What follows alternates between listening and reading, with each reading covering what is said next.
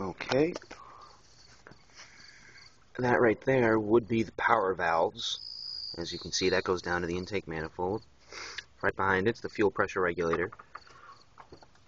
That gets power, gets vacuum source from this T right here, which also goes up into that area there and feeds that white line, which feeds my boost gauge and vacuum gauge. That T from there then also goes down to here, T's into that, and one of them reads, and that's where the source is, right there, at the manifold.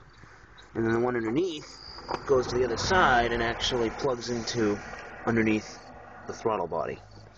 I assume that's the before plate. I can't remember which one at this moment. Uh, that's normally where the evap canister would go, bolted between the brake master and the fuel filter, which is not there, obviously. Never mind my clutch reservoir being broken.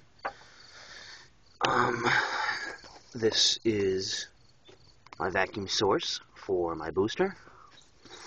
Now, over here is my blow off, and this vacuum line is all the way back. I had to fit it to a larger hose, so there's an adapter. And it actually is that line right there, and it's direct manifold pressure, so that way it always works.